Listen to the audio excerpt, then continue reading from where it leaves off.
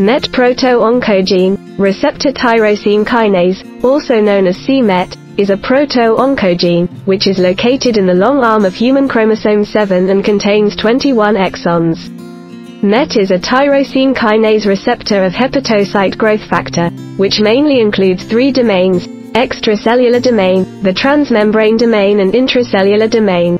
The combination of HGF and c-MET will activate MET and then activates numerous downstream signaling pathways. Therefore, MET exerts its effects of promoting cell proliferation, cell growth, cell migration, invasion, angiogenesis and plays a key role in normal tissue development and tumor progression.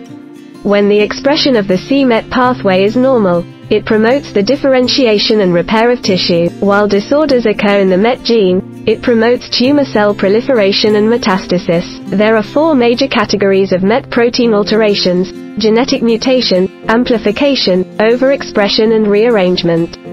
Non-small cell lung cancer is the leading cause of cancer-related death worldwide with a poor prognosis. Although non-small cell lung cancer research progress has been striking in terms of detection and treatment of the abnormal MET pathway type, there are few drugs targeting c-MET that are available. While the MET gene mutation not only leads to primary lung cancer, it is also a major cause of anti-lung cancer drug resistance, making it a driver gene for lung cancer.